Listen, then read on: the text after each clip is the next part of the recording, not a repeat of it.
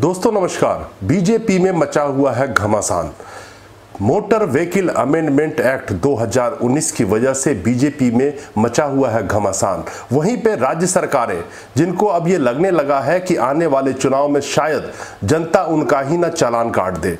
सबसे ताज़ा उदाहरण अभी जो गुजरात ने नए मोटर व्हीकल अधिनियम के हिसाब से जो पेनल्टी लगाए गए थे, उसको लागू करने से मना कर दिया और 20 परसेंट से लेकर के 90 प्रतिशत तक पेनल्टी कम कर दी। वहीं पे अब केंद्र सरकार को लगने लगा है कि जब उन्हीं की शासित गुजरात ने इस रूल को मानने से मना कर दिया तो ये उनके लिए बहुत बड़ा एक विषय बन चुका है और जिसके तहत खबर ये आ रही है कि केंद्र सरकार और गुजरात सरकार में एक टसल शुरू हो गया है। वहीं पे केंद्र सरकार के हिसाब से अब वो अपने कानून सलाहकार से बात कर रहे हैं कि आखिर अगर गुजरात अगर मना कर रहा है इस एक्ट को लागू करने में तो उस पर क्या कानूनी कार्रवाई की जा सकती है? वहीं आर्टिकल दो का हवाला देते हुए खबर ये आ रही है कि अगर केंद्र सरकार और राज्य सरकार में किसी रूल को लागू करने के ऊपर कोई विवाद उत्पन्न होता है तो उसके हिसाब से जो केंद्र सरकार ने रूल बनाया है, उसको राज्य सरकार को मानना अनिवार्य होगा।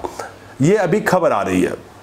तो क्या राज्य सरकार जो जानती है और सबको कुर्सी प्यारी होती है, वोट बैंक की राजनीति है। जैसा मैंने पहले भी वीडियो में बताया था कि इसके ऊपर एक राजनीति शुरू होगा आने वाले टाइम में, जो बढ़े हुए ये जुर्माना है, जिसको देखते हुए जनता में क्या आक्रोश सामने नज़र आ रहा है तो राज्य सरकारों को ये महसूस होने लगा है कि आने वाले टाइम में शायद ये उनके कुर्सी के ऊपर खतरा बनने वाला है। जैसा मैंने पहले वीडियो में आप लोगों को बताया था कि बहुत सारे राज्य सरकार जहाँ पे कांग्रेस शासित भी हो या बीजेपी शासित हो, वो इस रूल को लागू नहीं करने जा रही है। और अगर किसी ने लागू किया है तो फाइन कम कर दिया है।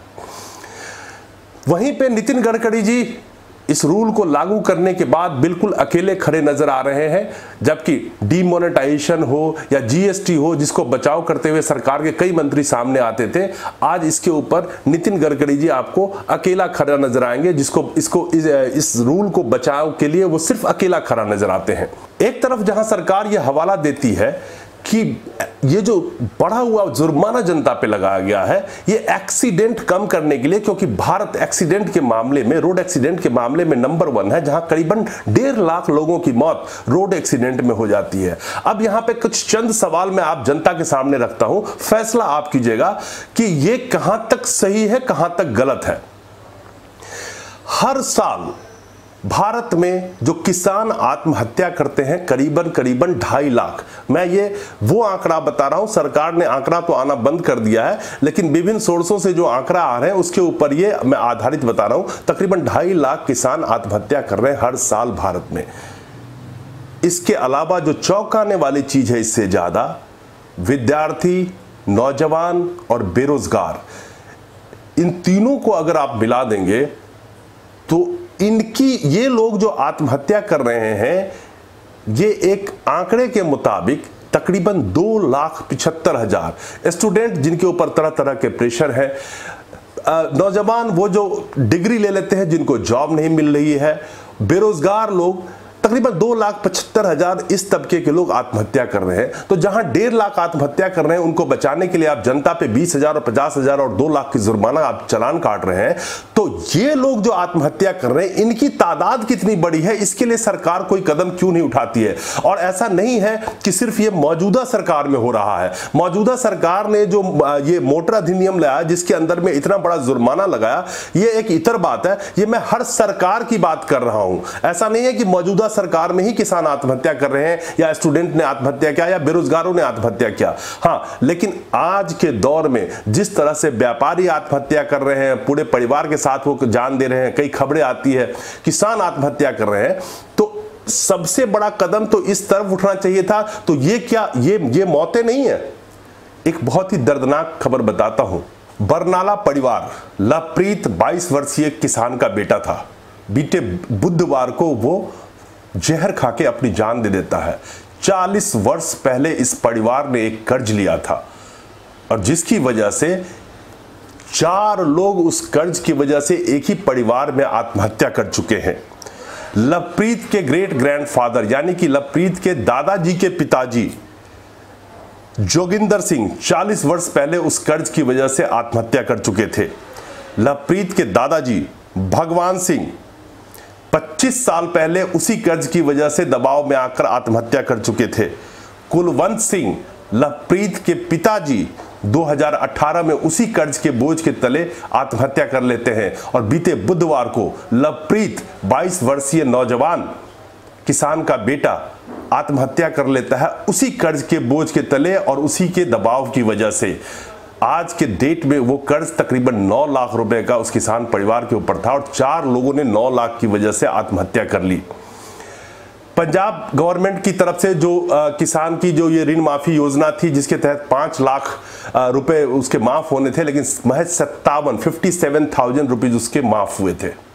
तो ये मौतें इसके लिए जिम्मेवार कौन है? और ये मौतें जो हो रही है, इसके ऊपर कोई कदम क्यों नहीं उठाया जाता? जहाँ एक तरफ़ डेढ़ लाख जो मौतें हो रही है, मैं खुद कह रहा हूँ कि इसके ऊपर भी कार्रवाई होनी चाहिए, कदम उठना चाहिए। लेकिन ये जो बड़े बड़े मुद्दे हैं, जहाँ ढाई लाख किसान, दो लाख पिछहत्तर हज़ार नौजवान, स्टूडेंट, बेरोजगार आत्महत्या कर रहे हैं, इतने बड़े बड़े जो आंकड़े हैं, इसके ऊपर सरकार कोई, कौन सा कदम उठा रही है? वहीं पे यह भी बताना ज़रूरी है कि किसान ऋण माफ़ी योजना जो पंजाब गवर्नमेंट में चल रहा था उसके बाद से जब से वे ये ऋण माफ़ी योजना लागू हुआ है उसके बावजूद भी 60 किसानों ने या उससे ज़्यादा किसानों ने अभी तक आत्महत्या करी है। अभी चार दिन पहले आरटीआई से एक बहुत बड़ा खुलासा सामने आया। सरकार ने जहाँ पे तकरीबन पाँच सालों में 5,700 करोड़ अपने प्रचार प्रसार के ऊपर खर्च किया वहीं पे आप कौन सा अखबार पढ़ते हैं? जरा सुनिएगा कि वो अखबार वाले क्या छापते हैं और आपकी न्यूज़ क्यों नहीं छापते हैं? और वो क्यों गुणगान करते हैं सरकार की? क्योंकि जो खुलासा हुआ है, वो जरा सुनने की, आप समझने की कोशिश कीजिएगा। हिंदी प्रिंट मीडिया, यानी कि हिंदी अखबार के माध्यम से सरकार अपने प्रचार प्रसार पे पुरजोर ज़ोर दे रही है। अगर सरकार काम करती है तो लोगों को वैसे ही नज़र आता है, जिसके लिए प्रचार की कोई ज़रूरत नहीं पड़ती है। लेकिन जरा ये आंकड़ा सुनिए, जो एक आरटीआई के थ्रू ये खुलासा हुआ है।